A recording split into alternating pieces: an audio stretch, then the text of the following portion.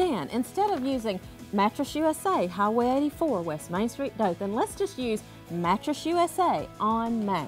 On Main what? Our location.